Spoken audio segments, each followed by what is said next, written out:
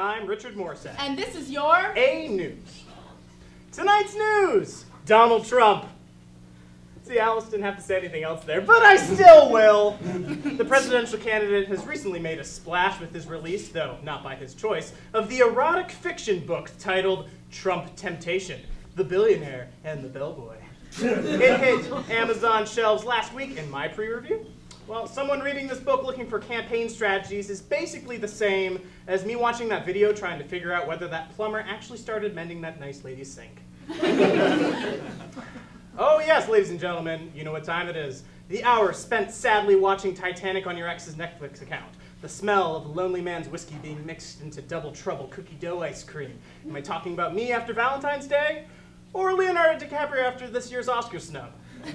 Maybe both. the world may never know. A man was arrested recently for stealing hundreds of dollars worth of razors from a local CVS. The man was reportedly using women's razors before the incident and switched to men's razors because women's razors shave 75 hairs for every 100 hairs that a man's razor shaves.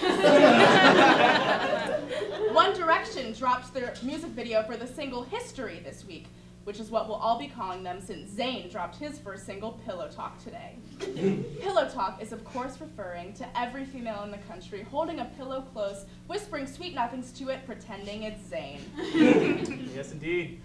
Now, more in tonight's news. Who in the hell are you? What? I'm Daisy Bentley. I said it in the beginning of the news intro thing. I don't listen to that. I never listen to what the other anchor says.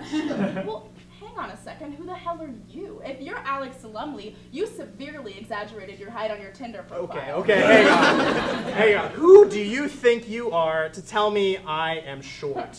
Okay, it's completely factual. I am tiny, but still, no, that's very mean. Oh, okay, guys, what is going on here? You're not Corey and you're not Alex. Who's what? Corey? I have no idea. You know what? Come on, this is my episode. You can't both be fighting when you're supposed to be celebrating me. Andy, why are you dressed as a clown? oh my god. When I wrote that on the script, I bet you were like metaphorically a clown, like you're a loser. Like I did not want you to dress as a clown in this interview. This is no Fee, fi, fo, fum. I smell a squabble between anchors. What's going on here, guys? Okay, Alex, I am so glad you're here. You need to save me. Richard, I've told you a hundred times, I cannot save you from yourself. All right, guys, I know this isn't exactly what you're both used to doing, but I believe in you two, okay? I think you both have what it takes to do A-News on this show. You're gonna have to work together, all right? Just put aside this squabbling. Why are you still here, Andy? Can you leave, please? Yeah, Okay.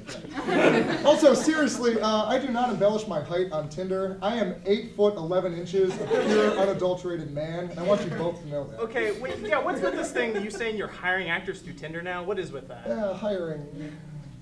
I leave A News in your hopefully capable hands. Richard, I want you to uphold the journalistic values we've all come to expect from me. Daisy, I want you to be there when he doesn't do that, okay? Great. I'm gonna go do something fun that's not this. Bye. Well, good night, everybody. That's all the time we have. I'm Daisy Bentley. And I'm Richard Morrissette. And this has been your A News. Good night, everybody.